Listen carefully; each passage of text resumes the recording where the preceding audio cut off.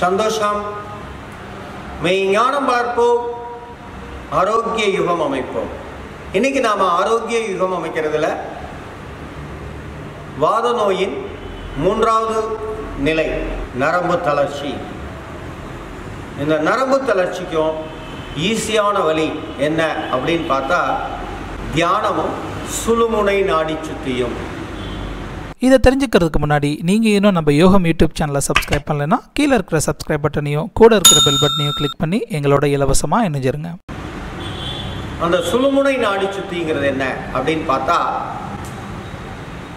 மூக்கின் வலதில் இழுக்கின்றோம் வலது துவாரத்தில் இழுக்கின்றோம் இடது துவாரத்தில் வெளிவிடுகிறோம். மீண்டும் இடது துவாரத்தில் இருக்கின்றோம். வலது துவாரத்தில் வெளிவிடுகிறோம். இந்த இயக்கமானது மிக முக்கியமான பயிற்சியாகும். இது எப்பெல்லாம் முடியுமோ அப்பெல்லாம் செஞ்சால் அவங்களுடைய ஆன்மாவானது மேலும் மேன்மை அடையும். அவங்களுடைய நரம்பு தளர்ச்சி முழுமையாக நீங்கும். அடுத்து என்ன பண்ணுறோம் தியானம்.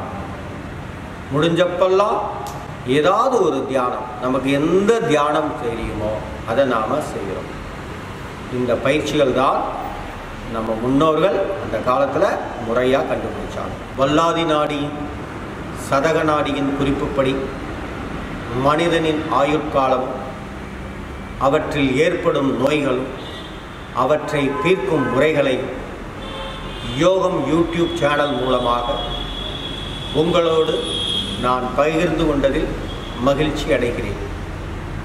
நிச்சயம் நீங்கள் அனைவரும் இந்த பயிற்சி முறைகளை அன்றாடம் தவறாமல் செய்து அதாவது எந்தெந்த வயது பிரிவில் யார் யார் இருக்கிறீர்களோ அந்தந்த வயதிற்கு என்ன பயிற்சியை நான் பரிந்துரைத்தேனோ அந்த பயிற்சியை மட்டும் முழு கவனத்தோடு செய்து உங்கள் ஆரோக்கியத்தை பாதுகாத்துக் கொள்ளவும்.